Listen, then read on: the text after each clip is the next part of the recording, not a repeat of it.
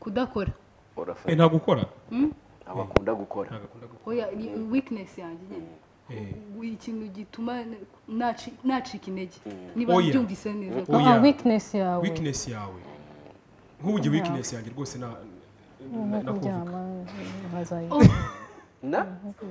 Vuga rata. vuga ko nari mbonye yazamo n'ibintu byo gutungana intoki ze? Oya rata oya ongera ariko ni wowe ukwiye kuririmba kiriya cya kabiri koko? Kuko n'ubundi abanyarwanda barabivuze ngo ifu rihoze kubera iki? Kubera ko wowe urumva birasanzwe nyine kuba wakumva atari wowe wabivuga. Kabone n'ubwo waba ushonje. Ariko urarindira nyine bakakugaburira.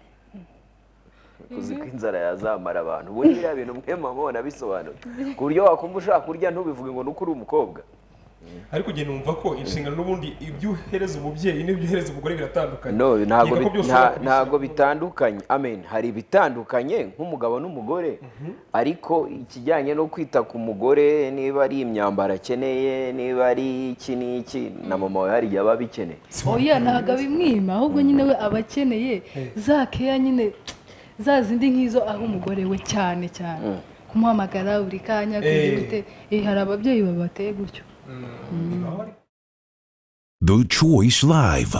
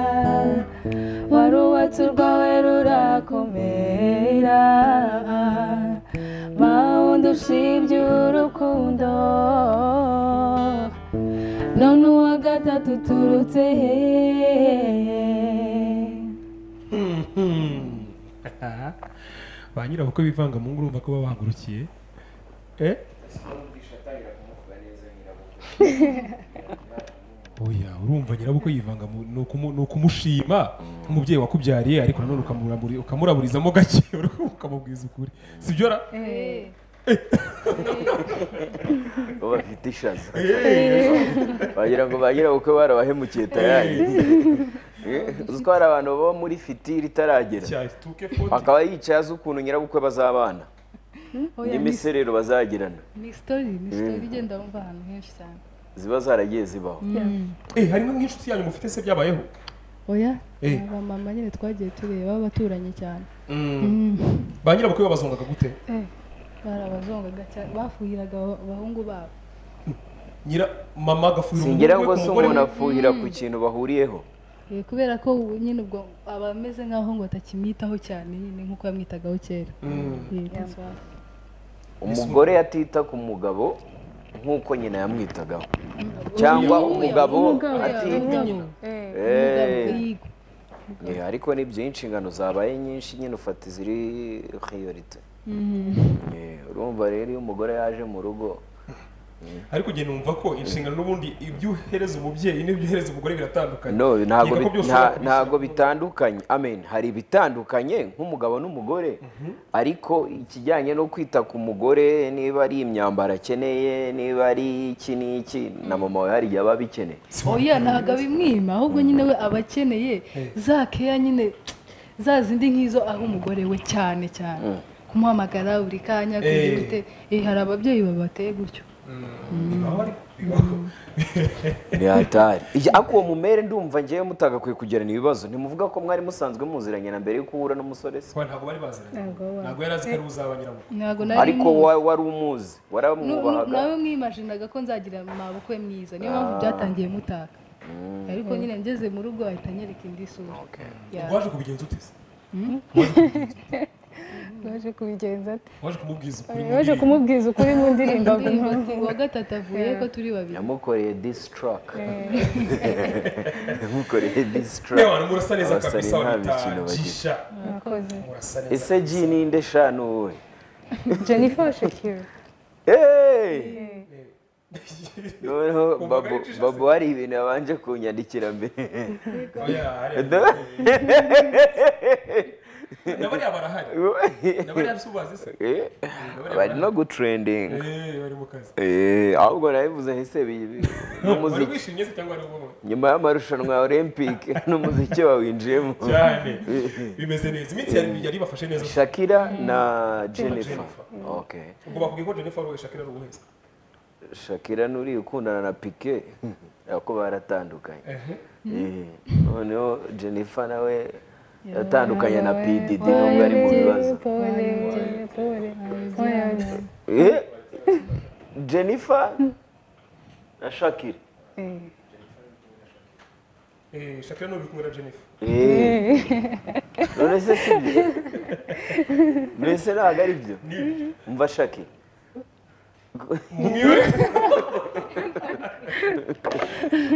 Ntiwatandukanye na gerard Shakira uri kubwira n'uwuheza n'uyu. Uyu n'uyu wicaye kuri iyi ntebe y'iruhande rwanjye ufite gitari? Ufite gitari? Ufite gitari. Eh, ah, usubije nk'abavanga shakira ariko nuriraho hirya. Wabyishe peter. Wowe ni wowe shakira mani ntabwo ari byo se babu ntabwo ari byo ni wowe shakira. Twinjiye mu kiganiro usinzi uyu se akitwa jennifer. Yababaye. kandi na na na presence ngo jennifer shakira kandi wabibikoze mbere. None- none murampinduriye Eh, icyo nzi cyo bakora jayisha hari isabune ya kera yajyaga kwitiranwa nabo. Iyo yari Eh, bajyaga nyine. Eh, sawa cyane urabona ko bameze neza kabisa. Mwambaye neza niba neza. wahitiyemo imyambaro yo kwambara? Buri wese yihitiyemo cyangwa mwafashanyije? Buri wese yihitiyemo. Yego. Muri mpanga si cyane ukuvukana gusa. Eh, muri abatwinzi gakuru ninde se? Eh, ubu urebye urabona n'indi soko ese nzajya mbaza nanjye bambaze siko bya bintu byafashe intera ndebera urebye urabona n'indi ndebye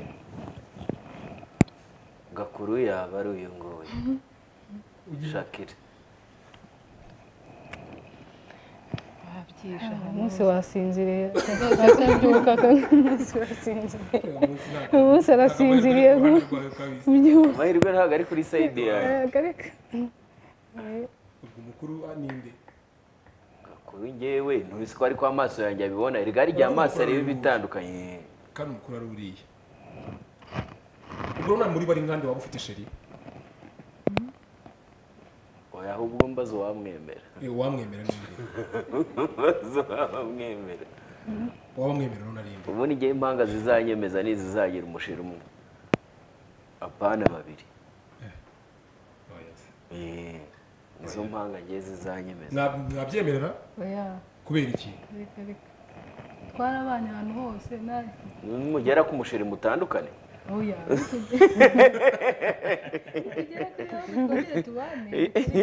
reka wapi Eh, uretse murashaka gutandukana mu byiza murashaka gutandukana mu byiza ni byinshi twasangiye hari n'ibindi biri imbere. None se kubera iki wowe ku ruhande rwawe. Ni ukubera iki utakwemera ko musangira umusheri nawe aratubwira impamvu. Ntabwo tubikunda nyine ntabwo bihura mwarabigerageje mumva ni bibi? Nawe no kubyumva gutyo mba numva bi- bisa nabi. Ariko bameze nk'uwabyemera. Ntabwo nabyemera. Kubera iki? Wenda hari igihe umuntu avuga uti njye sinasangiye inyanya n'inyoni.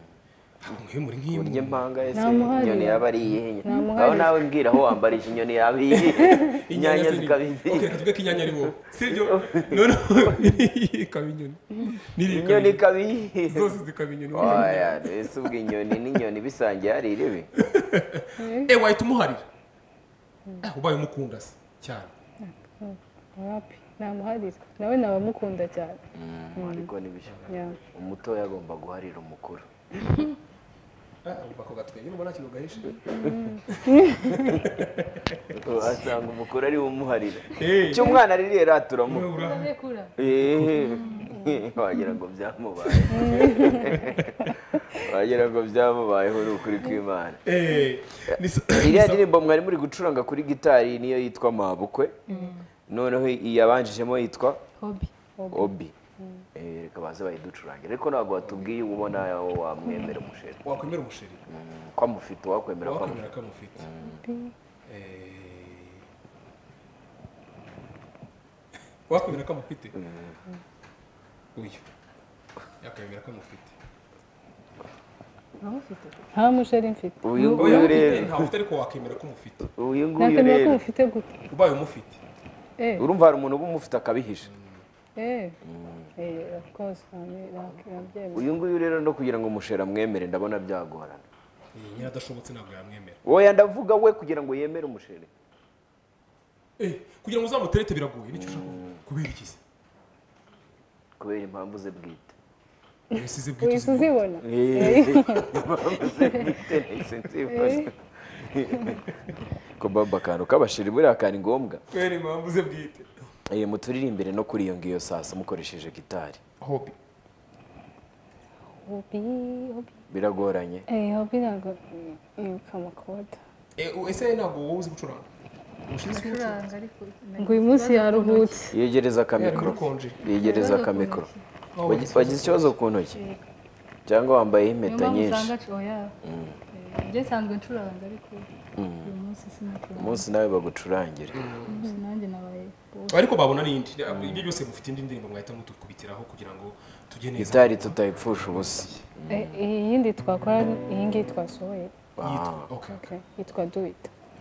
Muri kumwe na ndi bumu yego. Let's do it.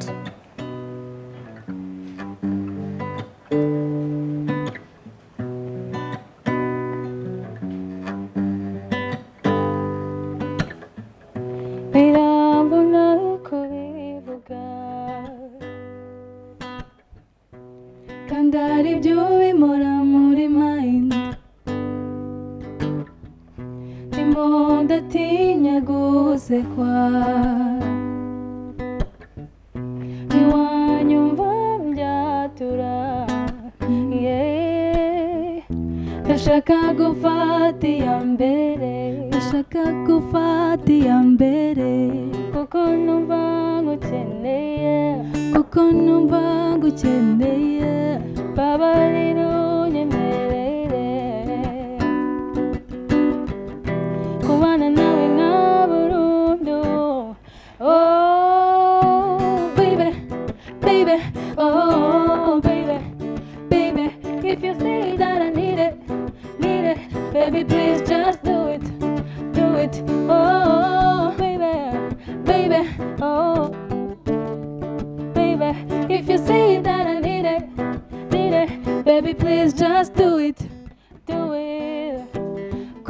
location y'amarangamutima yanjye wafashe decision ukama ibyishimo baby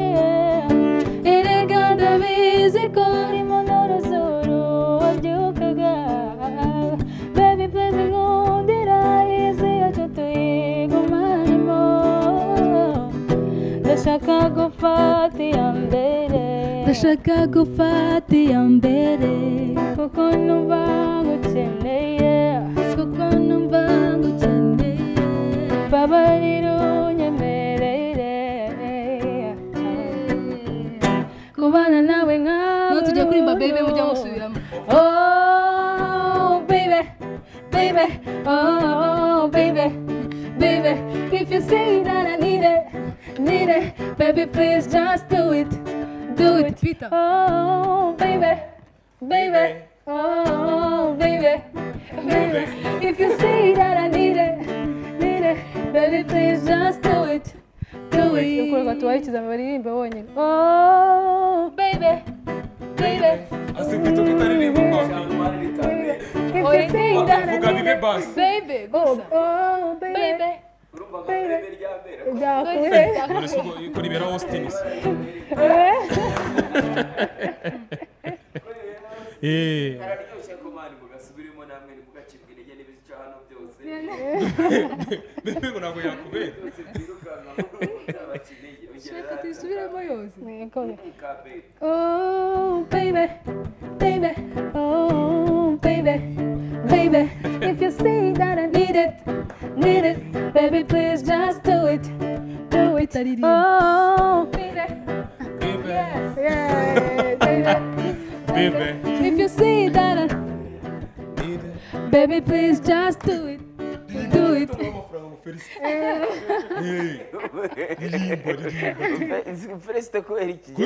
Kuririmba bebe. uburyo bwanjye. Ndi kumva ariko biri gutanga icyizere muri utangiye kuririmba bebe rwose muri biri kumpa icyizere umuntu ashobora no kumugira. Eh uririmba buriya yanamugira buri umuntu ashobora no kumugira ntabwo ari ukumuri ngiye kuguha kosi yo kwishyura indirimbo y'abandi kosiyo ehe kugira ngo niza gupfa tube twatanze ubwishingizi ngize icyo natanze.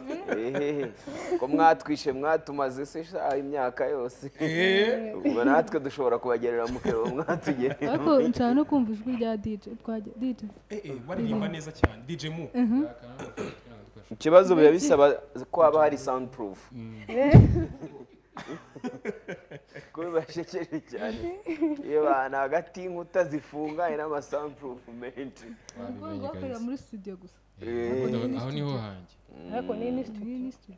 ni we musore wenyine ni we musore hano dufite wenyine wamenya location y'ibyishimo byawe. Byoroshye. Niyo mpamvu yakagombye kuririmba. Eh, kuririmba kandi. Ariko ndabona ameze nk'ugiye kubikora. ukora lisite agiye kubikora si umubona se? Yego eh. Mukora lisite harya mukavuga ngo iki? Ngo kuzi location y'amarangamutima yanjye. Wafashe decision ukaba ibyishimo byanjye. Eh, Eh, ngo urashaka ko? Nshaka gufata iya mbere. Ah, mu- maze. Kuko numva Aha. mbabarira unyemerere Mm. kubana nawe unyemerere kubana nawe nka burundu. Mm. ngo nihe mugumana? Hmm? ngo nihe mugumana? Ni ho kugumana. Tu- tu- kubana nawe nka burundu. Yego ariko hari ibintu mushaka kugumanamo. Eh, babikora se cyangwa babirimo? Ibikize. Ese waba wagize ku byishimo bisendereye ukifuza kubivamo? Shaka akaririmbo ko numva ari akamelodi nako ko niko hari abakobwa bararakaye indagaruka bati ariko wowe ko ntacyo ntakweretse location yizi uzaho biherereye amarangamutima yanjye Password. bati cyakora murantengushye ukuntu nari natangiye kubafata. Igitero kimwe turagipfa cya mbere icya mbere. Karimo iby'ibyishimo se? Reka- reka reka bakiririmbe twumve. Tukabajya aho aho bakiririmbe twumve Mm, indirimbo yitwa do it. Okay. biramvuna kubivuga kandi ari byo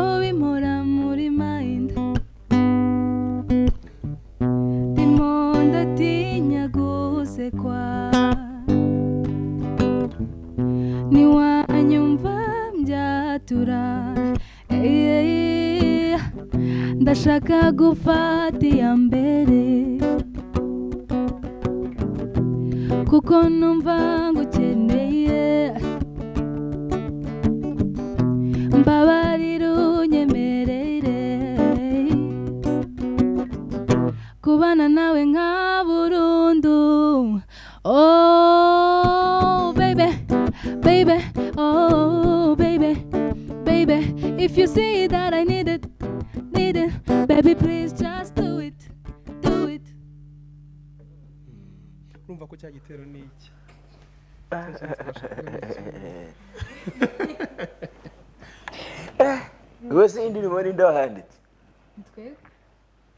uwazanye igitekerezo ese wabonaga umuti umudiho utava mu itako Eh, wabonaga ita atarimo bakayanditse ariko ni wowe ukwiye kuririmba kiriya cya kabiri koko? Kuko n'ubundi abanyarwanda barabivuze ngo ifu rihoze kubera ikize kubera ko wowe urumva birasanzwe nyine. Kuba wakumva atari we wabivuga. Kabone n'ubwo waba ushonje. Ariko urarindira nyine bakakugaburira. Uzi ko inzara yazamara abantu. Ubundi biriya bintu mwe mubona bisobanura. Ku buryo wakumva ushaka kurya ntubivuge ngo nuko uri umukobwa. Muduhe ibitekerezo kuri iyo ngingo. Kurya? Ibiryo? Ibyo ari byo byose mwese muri abantu bakuru ikibazo mwacyumvishe nimunsubirishemo kandi uko mwacyumvisha bari ko ni uko mugisubiza nguko ngo kurya kurya abantu bose batagira. Uracyabaza kandi nabajije. Birakwiye ko inzara ishobora kukwica ukanga kubivuga kubera ko uri umukobwa. Kandi ushaka kurya yegereza kandi ushaka yego kurya yego. Yego inzara ikakwica kandi ushaka kurya. Bikiza iki ibyo bihari. Bikiza iki kwicisha inzara kandi ibiryo bihari? Aba afite Ibyo urya aba afite impamvu. Niyo dushaka ngo mutubwire nyine. Niyo dushaka mutubwire iyo mpamvu. Mwabwira iyo mpamvu. Wumva iyo mpamvu niyo dushaka mutubwire. mwabwira iyo mpamvu rwose sinzi ukuntu bugisubize kuri umuhanga se babu niko yambwiye cyane. Eh? ubikora neza. rwose. Ibintu byo gusubiza ibibazo bikomeye. Eh, mm. Mm. aho icyo ngicyo sinagishobore ko eh kabisa inzara iba ikwiye kukwica. Ibi kukwica byo turabyumva biri obvious. Wenda nubwo niyo tuta mpamvu natinye gufata ntabwo nshaka gufata iya mbere. Byibuze ndimo ndavuga ati fata iya mbere. Mwese n'ubundi kuvuga ngo fata iya mbere si kimwe no kubwira ngo wampaye. Kumu- ibaza umuntu ashaka kubwira ngo wafashe iya mbere ukansaba. Oya nafata iya mbere zo twibanire burundu. No in fact njye mba numva nk'indirimbo bayikoze mu buryo bwo kugira ngo ibimuvugire tu. Eh, we ye kubivuga bye eh, ntibiguturukeho. Eh, ushobora- eh, we ntibiguturukeho kubera ko urumva kubivuga kwisabira ntabwo ari sawa. gufata iya mbere ino ndirimbo ni igisabisho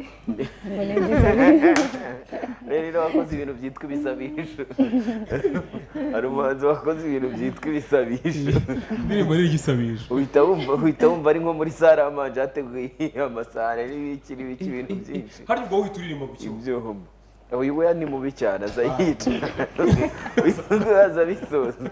Uyu ni mubi cyane. Umuntu ushyiramo na location uririmba ngo ikirate uririmba twumva kuzi location wanagacuranga ariko rero nta kintu bitwaye.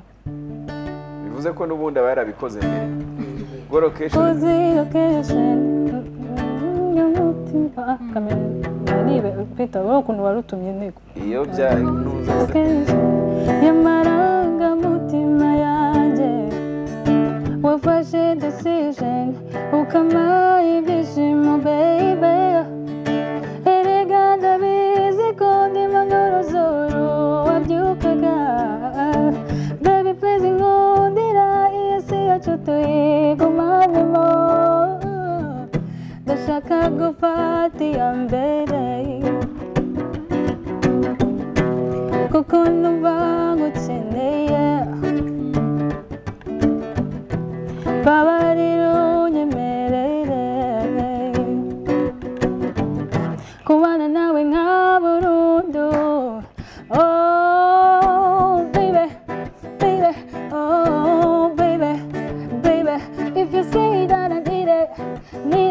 baby please just do it do it. Oh baby baby oh baby baby. If you say that I need it need it baby please just do it do it. Wamwumvishe kandi yahise arwana mani. Shiza baja none ahera kuri lokasi umvishe ko isi ye bayigumanamo ahera kuri lokasi kandi location ntabwo wapfa kwimenya gutyo gusa. Bisaba kuba waragize kuyibona. Hari ukuntu warayivumbuye. Yazi location y'amarangamutima Eh, nyine yayimenya ate se? Yayimenya ate? Kubera ko baraziranye. Ariko umuhungu ni ibya- ariji- umuhungu arijijisha. Yegereza akamikoro aba yijijisha. Umuhungu aba yijijisha. Kandi ayizi. Ayizi location yazi location y'amarangamutima ye nyine kubera location y'umutima niyo turi kuvuga. Ewe warigize ngo ni iki turi kuvuga ni iki eh oya warigize ngo ni iki Bisobanuye neza. nyine nabi twe watekerezaga turi kuvuga ni iki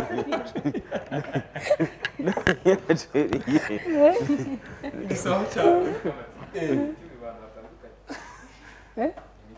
gusa wa mugani nawe wenda we uraducanze azi azi inguni y'umutima arimo. Inguni ngo ni sa inguni y'umutima. Hari n'iyatemerewe kugeramo Eh? Eh? hari indi nguni iri mu ndi muntu hari inguni hari n'inguni atemerewe kugeramo Mm, twabanje tukareba indirimbo noneho uka- uku- tukaba tubaza nyuma. Hari ikintu byaba bigutwaye? Nimba ikoramo se ntabwo ndaba mbivanze. Oya ntacyo ntacyo uvanze kabisa. Indirimbo yitwa do it. Uri kumwe na ndi bumuntu. What a lovely song? Ah. Indirimbo nziza cyane nshya ya jesha na ndi bumuntu. Eh do it just do it cyakora harimo gushega bro. Ya, ya, ya, ya, ya. hari umuntu ushega bamwita iki? Ihoya. Ihoya. Ninde wahondaguraga urugi buriya? Muri ya- mwe shyiraho akamikoro ninde story wahondaguraga ukuntu hariya Ese ubundi rimeze tuvuge ko n'ubusanzwe utazi gukoresha mikoro Mm, oya, ndazi. make use of the microphone urazikoresha Ndi ku- na- ndi uyifate neza kuririmba turebe ya buriya rero ntabwo bifashe neza. Okay. Ya ninde wahondaguraga ni wowe Eh, ni wowe se ni wowe babu yise iryo zina oya nanze nabonaga ari gusiga. nka ndi umuntu ahubwo ntabwo nabigukekeye Yahonda- yahondaguraga urugi Eh, Oya, urumva shakira naratetse niteguye umuntu ibintu byose shakira aza aramfungirana mu cyumba ahita ajya kuri date na na andi andi ntiyabimenya mu kumanuka asobanye ko nahise amukubita eh kubera urukundo muri impanga. Kwa ko atazi kudutandukanya ukajya uhondagura icyumba. Naragihondaguraga nyine ko yari yamfungiranye kugira ngo amfungurire we nawe bari barimo imbere se? We na shakira we yumva nari nateguye hasi date. Arangije rero eh, ahita yambara imyenda nari kwambara aragenda ahita yigira njyewe a- asiga mfungiranye Yeah. urashega abigukoze mu buzima bwawe wakora iki? Abigukoze? Wakora iki? He kiriya gikweto namuhaye ukubita igikweto kabisa. Ese ubu nziza. gishobora kuba- kubatandukanya? Gishobora gutuma nyine nyine ubushuti bwanyu Mushwana. mushwana. Ntacyo pe. Niyo gurupe yonyine ubundi igiye kuzaba igakomeza izindi zose zagiye zishwana so urumva utabyizeye hari ikintu Njye kizabatandukanye ndabyizeye gusa nkimara kubona ibyabaye kuri P Square numvisha ubwoba bunyishe oya bano bo ntabwo ntacyo bazabaho ngira ngo ngira ngo game of the Bibatega Moon, iminsi. ukuntu bimeze bibatega iminsi uzajya ufatamo njyewe card akazi imwe, nshinzwe ni akahe uzajya ubasomera icyo ni yahisemo ukuyobora icyo yahisemo ya game oya akisomeye biba biryoshye bro. Uzi akisomeye. ukuntu biba birenze Eh, mbabarira begereza Eh, akisomeye biba birenze genda umucanzi no kumekinga Ndi- no kumekinga shuwa yuko bagize gute? Eh, ko batoranya neza cyane. Eh. Indirimbo yitwa do it. Cyakoza ndiba umuntu yari ni we wari ukwiye kujya muri iriya ndirimbo. Ubona ko asa n'umusore rwose wakwijijisha. Iriya ndirimbo iramubereye ahubwo umuntu wamuhisemo ni umuhanga. Turahera kuri wowe wowe ubwo ninde? Kuri Shakira. Shaka amahitamo mu buzima busanzwe arakugora se? Afata ibimwegereye. Ngaho soma ubwo barapikinga ibibazo bingahe? Bitanu. Bitanu buri muntu. Okay question number one. How long do you think couple should date before becoming official? Gasome cyane ariko. How long do you think couple should date before becoming official. Okay. Think I- ndajya mbasomera ibibazo. Ndabona ari byo biri buze kuryoha sibyo biryoshye. Oya ndetse sindi gusoma cyane. Oya, reka ureke nisome. gusoma. none kubera iki ari kwanga kugira ngo narebe ari Okay. Nibyo, ni byo. umaze kugasoma ujya ukamana agasobanura mu kinyarwanda Eh, ahubwo kwisomera muri isomero. Eh, ikibazo ntihazamo icyongereza kinaniye. Utekereza ko ari igihe kingana iki couple igomba kubanza gukundana mbere yuko babishyira hanze? Igihe ndumva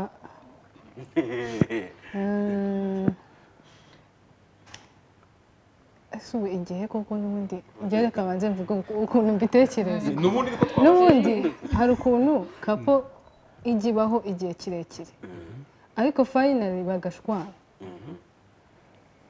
nanone n'ababa hari igihe hari- hari n'ababana igihe gitoya ukabona byakomeye bakabishyira hanze bagahita kandi babishyira kandi bigakomera rero igisubizo igisubizo nabaha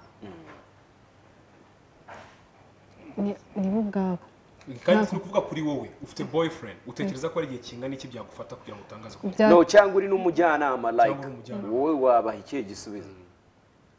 Ariko ntabwo mvuga igihe dushobora kumarana. Kugira ngo mubitangarize abantu. Yego.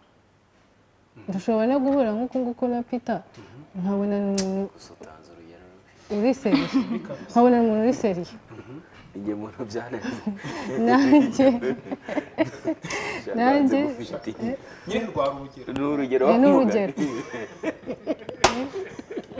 ibaze ko batagukoresha mu bintu bya nyabyo urugero gusa birababaje nkaba ndavuga urugero nka peter Eh, bikoreshwa muri bible Mu gusa ngero. ubundi. Muri bible ni ho haba ibintu by'ukuri gusa bakoresha ni urugero nka peter nkabona nkabona ni umuntu uri ariko wari uvuze peter na- nande e nawe? Ukabona ni seri Eh. urugero ariko. Mhm. dushobora kuganira. Ibyo- byaterwa n'ukuntu tuganira n'ukuntu tubanye n'ukuntu ni- n'icyizere dufitanye hagati yacu. Ibyo ngibyo bishobora gutuma dushyiraho n'igihe cyo kuba official. Okay. Yeah. yes straight to the question tugiye kuri nde noneho uzi ko bya bintu bikomeye hitamo cyakoze Agiye uyu mwana arashogora ku ka mikorofone umurusha ijwi dore nawe mukuru. We kure gisome mani tucyumve ngenda nda- nda translatinga gusa wabivuze wabivuze ngo ni uku urabisoma translating. Oya byose oya nta kibazo byose abisome Jennifer, what's your greatest weakness and what are you currently doing to improve it? mu kinyarwanda bimubwira mu kinyarwanda Mani byose. arajya yisomera mani Eh, Mbese oya, ndakora ibintu bisome bibiri. nimwe mwabyanditse byose bisome Okay, ni izihe ntege nyawe ni izihe ntege nkeya zawe ni iyihe weakness yawe ikomeye kuruta izindi? Ubu ngubu uri kuyikoraho iki kugira ngo bibe byahinduka? Intege nya- zanjye ni weakness yawe kugira ngo tubishyire muri weakness yanjye ugira kuruta izindi kabisa. Kudakora. Eh, urafata nta gukora. Abakunda gukora. Ntabwo akunda gukora weakness yanjye nyine ikintu gituma naci- nacika intege niba byumvise neza ko Oya. Ah, weakness yawe. Weakness yawe. Nk'ubu weakness yanjye rwose na kuryama nkazayi na? Vuga rata. Vuga ko nari mbonye yazamo n'ibintu byo gutungana intoki ze oya. Yazamo vuga n'ibintu oya ongera igisubiremo neza ntabwo What is your greatest weakness currently? What are you doing to improve it? Weakness yanjye. Intege nke zawe. weakness yanjye ni ukuryama. Yeah. ikintu nkora kugira ngo mbyuke bi- bi- bi- bi- Ni birangire. icyo ukora kugira ngo ube wabihindura ibyo bintu bizakuvemo cyangwa ndabirwanya gute nyine. Ukora iki kugira ngo birwanye njya muri studio. Ncuranga buri kanya ndigisha. Ya byarashize ntabwo bikiri nka mbere. Aha question number two kuri side ya ya shakira ntabwo ajya ajya kure. Fata ibimuri hafi. How long can you what is the distance between you and him? It's fine. yo man you got a Mereza bari question. Mereza gisoma. Reka bajya bisomera ibibazo ukishyira mu bigutwaye ariko niba wabyanditse wadusomera wabyanditse mwabyanditse njyewe sindi ni wabyanditse Your sex tape just leaked out online. What's the, the first things you are doing after you find out? Bimubwira mu kinyarwanda. yacyumvishe reka turebera amashusho yawe y'urukozasoni ubyutse ugasanga yagiye hanze kuri murandasi. Sibyo? Online. Ni ikihe kintu wakora ukimara kubibona? Cya mbere wakora ukimara kubibona? Oya. Bya shakira n'ibyo bibika. Eh, ndaba umunyamabanga we. Nose uko ntabyo nzi. Ntabwo uzi ikintu wakora. Ngubu ntabwo nahita mbitekereza kuko nta n'ibyo nakora ibyo bintu. Oya utabikora gute? Se ushobora kuba uri muri dushe bahateze kamera utabizi. Uri koga sibyo? Utabizi ko ba ba- erega na- na yo ari kujya hanze amenshi ntabwo baba bayafashe amwe muri yo bayashaka. Oya ikibazo afite ni uko atafatwa cyangwa ikibazo ni uko atabitekerezaho. Nuko nafatwa kubera ko nta- ntabwo nzi n'ahantu bikoseka mwese bashyize kamera muri dushe yawe utabizi. Koga utabizi then ugahita usanga amashusho yawe uri koga ari hanze. Wakora iki? Ukimara kubona ko yagiye ntabwo ari amashusho mana yo koga.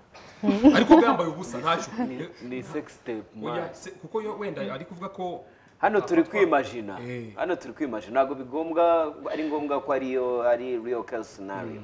Ni ukwimajina. Kuko ikintu ugiye kuvuga gishobora gufasha n'umuntu udukurikiye byabaho. Gishobora no kuzamfasha nanjye.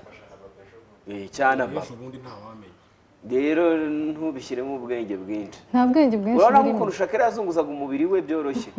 Ukuntu wari oya re- reka ukuntu yari Okay, reka nkubwire baba bari kubyoroshya mu bwonko. Ukuntu ushaka ndi ikintu kubyoroshya cya mbere biramutse bibayeho ikintu cya mbere wahita ukora. Ikintu ndi gutekereza. Urumva ko ari mesaje nshobora guhereza abantu. Nanjye nshobora kumuhereza mesaje ntekereza gutya nkumva wapi? Rwose icyo kintu ntabwo nzi ntabwo igisubizo igisubizo. Ntabwo nzi ikintu nakora. Kubera ko ibyo bintu biri- birakomeye. Na- nshobora kumubwira ngo "Mm, mm, yazimya telefone none se wari yandika." uzi ko ugize amahirwe ibihe bikomeye wabigeramo warabyiteguye? Cyane. Wari ubizi ko? Ibihe bikomeye. Ugize amahirwe wabigeramo warabitekerejeho mbere. Warabitekerejeho mbere ariko ubu ngubu ntabwo nabitekereje ubu rero ahubwo turi kugufasha kugira ngo ubitekerezeho nuramuka ubigezeho. Ngajya mu rugo nindanza ndikwandika reka tube tumubikiye iki kibazo arasubiza nyuma ya jennifer. Reka ngitekerezo jennifer pick another one please. We still have four to go three to go. Reka babitekerezaho uyu mwanya ntuwupfusha ubusa. oya Ese mani, ntabwo wakwisomera Mhm. do you feel it? What? Peter do you feel peter do you feel it? Do you feel it? It's okay to go through your phone Sha, i don't think without permission. Why or why not? Sha, babo do you feel it? Do you feel it is okay? Eh nibyo do you feel it is okay to go through your phone without permission nta kintu byaba bigutwaye umuntu akugiriye muri telefone why? And Anyone. the question says oh why. yeah not anyone. Uh-huh. No that's that's what the question says. It says you feel it's okay to go through your phone. Without to go permission. through someone's Eh, phone. oya to go through someone's phone. muntu wese yayijyamo without permission. Someone. Ariko atari yaba iyawe yaba iyo ari we wese oya oya ku- kuri njyewe nta kibazo. Kuri ba ku bandi ho kuri wowe kujya muri phone yawe nta ruhushya nta kibazo. Nta kibazo then we want to know why. Amabanga siho nyashyira. Ni agasubizo keza man. That's, that's, that's a good answer. Se buriya ugira nk'ayahe mabanga? Muri telefone abantu benshi babikamo amabanga ngo amanimero ari pirive abiki ibintu byinshi. Ariko ngewe rwose amabanga wowe yabihisha ese? Mu mutima. Ninde ukujya secret keeper wawe ninde mu mutima wanjye impanga ye ntayizeye mu mutima wanjye nawe tora iri kadi ubwo nyine barakubonye nabyumvise akase ntabwo ubanza kugasubiza broske aragasubiza nyuma ntaribi ah okay. Ukuntu yari ari kubitekerezaho si bimaze iki kuba atari bugisome kandi ari kukireba. Ajya kimwa akima ahubwo ngaki. ntimusome uye ntukajye ubifata ngo ujye Eh, ajya ahita akima musomere cyangwa no kugira ngo ubyizere. What is the craziest thing you've ever done?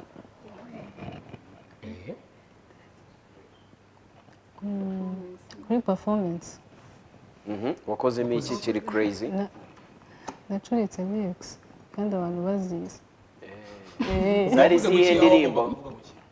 zari ziye ndirimbo zavugaga mu ishami zari indirimbo ya- yari indirimbo yitwa rakangana rushu iyo ndirimbo ibaho se yego. Wabikoze tukumva Like I'm gonna lose you. kore mpamvu wazanye gitari. Okay. twayishyize Shisha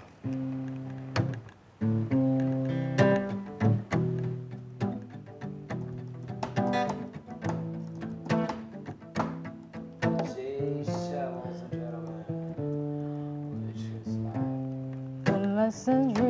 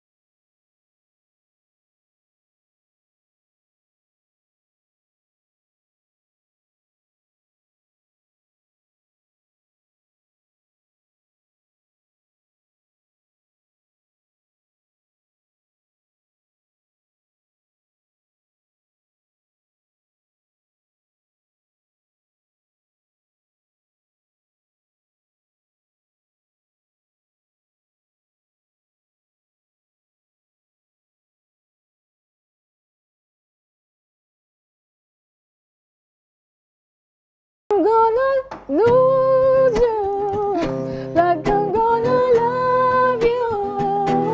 I'm gonna lose you like I say goodbye. Eh? na confidence nyinshi ukanagafiri kavuga bati noneho kabaye ugiye bibiri bibiri bibiri bitatu ariko bitatu Mm, hari ikigero benshi ko mwavuze ngo ni bitanu byose. Oya. Bitaro byose. Se ubu urumva mwamuzanyemo ibiharwe.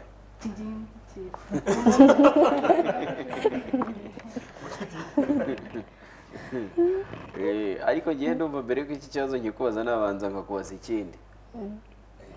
Ntukibaze eh. icyo ukihorere oya bira- iki ni babura kibaza nturese iyo ikibazo ntacyo cyanditse birajyana icyo bashaka kubaza. Oya none akandi akantu ko kubeshyamo ok reka mubaze iki ngiki. Nicyo cya mbere n'ubundi ngenda bizi ko ari bo gisubiza. Noneho wumve audacity mfite. When you get married do you plan to share a bank account or keep separate ones? Igihe cyo sinyizi oya nuramuka ushatse urateganya kuzasharinga bank account n'umugabo wawe cyangwa buri wese azagira iye twasharinga why. Um, impamvu ni uko iyo burya abantu bemeze gushakana hagati yabo ni uko nyine babizeranye. So ngewe twasharinga nashaka kumubaza mbere cyari kuvuga ngo ese ubundi uzashaka? Kandi mbona agiye kukigusubiza urumva yagishubije. Kuba yavuze ko washaringa nuko azashaka. Hakurikiyeho we mwana muto. Gatoya. Ariko ubanza akameza katabegereye neza. Ko ariko kazi banshinze. Bishobora kuba byatumye udahitamo nk'aka. Ugomba gufata ibikwegereye gusa. Yakinnye amakarita uzi ko ari kwitsimba se. fata ibikwizaniye wowe? Mhm, harya ni we ugomba gusoma. Which childhood experience has shaped you the most? Ni ikihe kintu cyakubayeho mu bwana bwawe kikaba cyarakugize uko tukubona uko? Cyangwa cyaragufashije kumera uko tukubona uko? Ikihe kintu nagize mu bwana bwanjye? Ni ukumvira ababyeyi experience wagize experience eh, impamvu nabivuze kumvira ababyeyi. Mhm. ubwo ugiye kujyana muri experience uba utari abana bakundaga kubwirwa ntibumve oya ntabwo navuga ibyo ngibyo. Ndi kuvuga ngo ku giti cyanjye ahubwo impamvu impamvu mvuga ko ari ababyeyi ni ukubera ko ari bo ban- bantuje aho ngiye hose. Na si- na situwasiyo ngomba kujyamo uko ngomba kwitwara. Ariko iyo ntabwo ari experience. That is not an experience. Ni uduhe nk'urugero nyine rwa rw'ikintu rwa situation cyangwa real case scenario yabayeho i- cyangwa wakuriyemo cyangwa wakuze ubona cyangwa yakubayeho yatumye nyine uyu nguyu tubona experience nagize ngewe impamvu ndi kuvuga gutyo naho ni ukumvira bangiraga inama cyane. Mwumvira ibyo bambwiye ukiri muto. Yego. Iyo utekereje ku nama bakugiraga niyo ikugarukamo cyane. Iyi ingarukamo cyane Eh, inama ingarukamo cyane ni kugira disipurine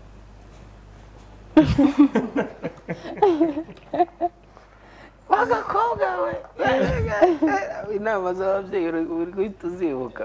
Ntabwo bagira amagambo menshi kandi amara kugutonganya isaha. Amagambo menshi kabisa. kariya gasore mwirirwa mugendana. Itoragurira indi karita sha. Amara kugutonganya isaha agahita avuga ati nuko ntagira amagambo gihita ugira nka gutya uhita ufata nkaka ko hasi cyane. Ubundi afashe yari yafashe tu. Yayibonyemo iboro. Isi iyo utomboye nk'ikibazo uba wumva ari nk'ibihe bibazo udashaka ko biza muri tombora Shyiraho mikoro. byinshi cyane. Eh. Eh, eh, ni byinshi. Ah, ibi ni ibya nyuma. Ibyo ni ibya nyuma ari- ari uku- ari ukukubaza kuri famiye yawe ari no kukubaza ku buzima bwawe bw'urukundo. Ni iki uba udashaka ko tuvugaho cyane?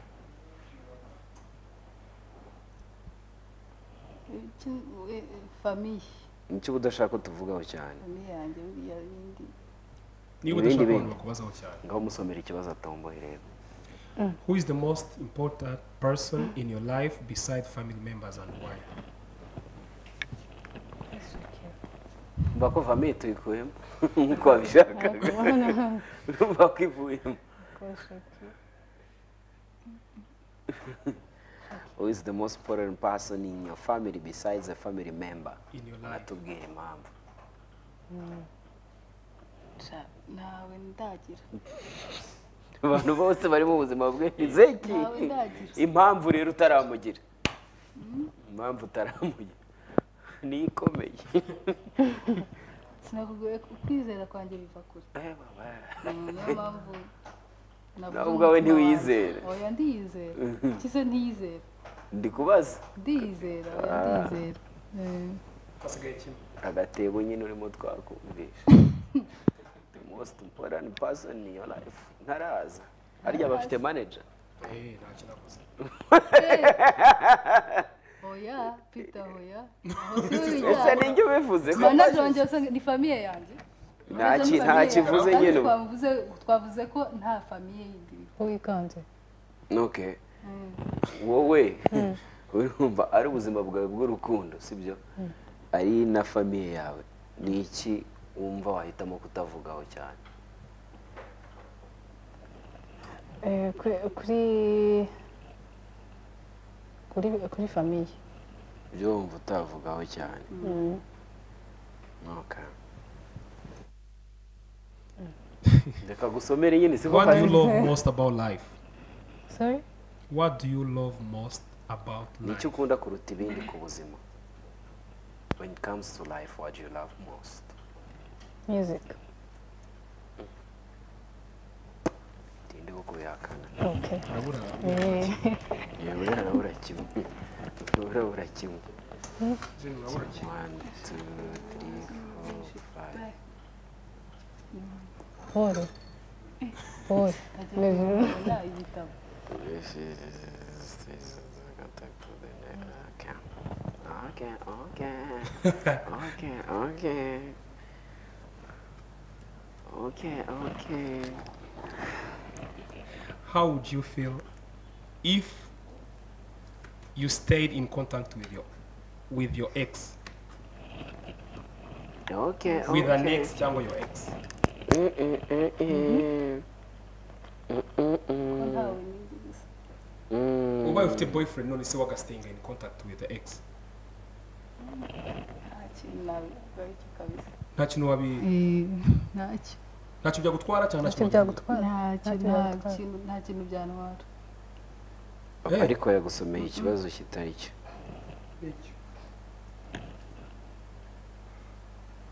Wa wakumva umeze gute umukunzi wawe agumye in contact n'umu ex wiwe Eh.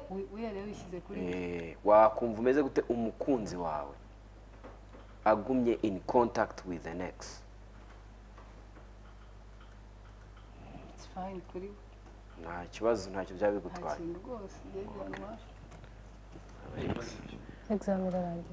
Aba ex. Ubwo ngubwo nturamenya ko aho yaciye hadacurwa ngo ushobora sinzi icyo bisobanuye ni iminsi y'urukundo aho iminsi y'urukundo yaciye ntabwo haca urwango eee Eh, gusa ntabwo ubyumva tubigushyire mu cyongereza ushyiremo days of love. Iminsi ko interivisi isi irangiye ibibazo byabaye. Interivisi yashyizeho akadomo ni ukuri kw'imana.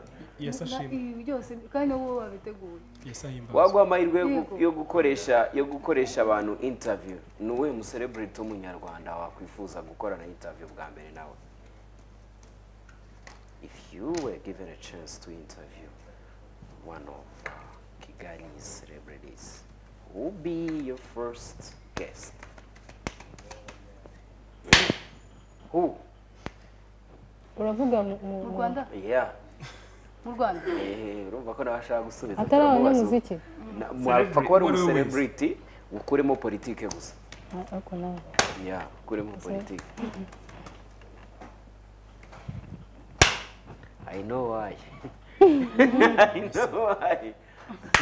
I know why. DJ Filipita ubu iki ni cyo kibazo nanjye ndi gusubiza. Nibajije eh ubona ukuntu kireshya abana ikibazo nibajije wamubuze se iki ni icyanjye kanze nshake. Kanze nshake ni cya brand. Cya brand. Ni sawa cyane. Ngira ngo twaragana ku musozo wa oya yamubuze? Yamubuze. Serious? Ikizi eh. Ya, nagicanze peter barakibuka se? Ndaci eh! iriya filime wayibagirwa cya kindi yambajije iyi filime yawe igiye hanze. Dj oya dj burenda. Twasubiza iki? Cya burenda. Eh? Irabuze igiye hanze. Eh hano nabuze comment. Wabuze comment ni uburenganzira bwawe rata ya nta musereburiti wumva wakoresha oya nawe ntabwo ndi Gera kubakurura neza microphone. bose. Ntabwo ndi kubakurura neza. Okay. Wowe. Wowe. Sumva nakoresha bose. Bose se hari uwitwa nyine wabanza. Bose wabakoresha nta kibazo ariko wabanza ni we nabajije. Nayize ngo ni umusereburiti mushya witwa bose bose. Babireba. Yaramuhinnye bose babiri basigaye kwivugira. Eh, yaba ari uwuhe? Shaki Ah, ndamubuze. Uramubuze? Aye. abo Ni bana fresh harya indirimbo yitwa gute? ko numva Do ubuzima bwabo nabo bwabo yitwa buteye do ama- it. amatsiko Ah, muri kumwe na andi bumuntu. Yeah. iri ku yihe youtube channel? Na jayisha bwabo nabo ya bwabo jaysha kuri instagram buri Uteye wese afitiye amatsiko cyangwa kabisa. mufitiye iyo muhuye oya eh, jayisha 250 zohereza Jaysha, umusipayi 250. papa bunyinjirire 250 yego iri no kuri platform zindi zitandukanye za audio max Yego, spotify. yego Okay, ni sawa cyane. sawa cyane. Ngira ngo twanafata umwanya tukayireba dj phil peter hanyuma tunabaherekeza kandi tubashimire kuba baje muri the choice live kandi anytime kabisa. Fresh? Eh, ni fresh cyane. Fresh. Cyane dj mu bidukorere indirimbo ni do it jaysha featuring andy. The Choice Live.